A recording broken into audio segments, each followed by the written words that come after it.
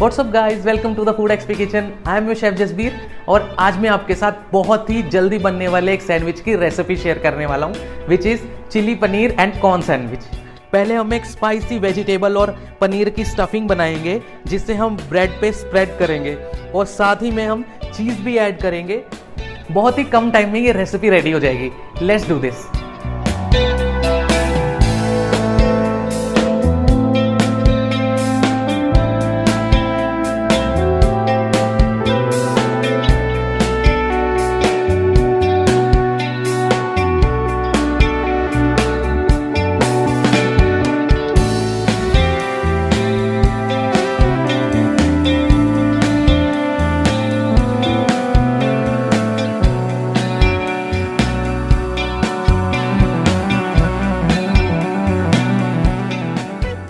stuffing ready हो चुकी है।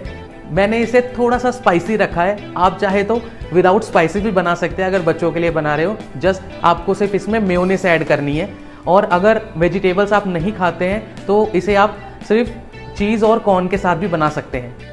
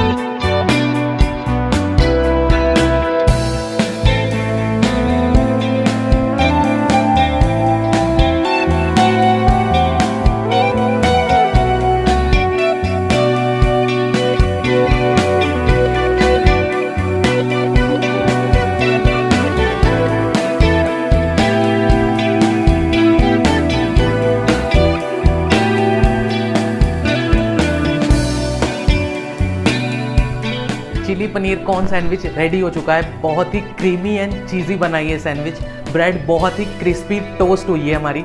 आप भी इस रेसिपी को ट्राई करें और मुझे ज़रूर बताएँ कि आपको कैसी लगी। If you like this video give it a thumbs up and consider subscribing if you haven't yet and hit the bell icon for more updates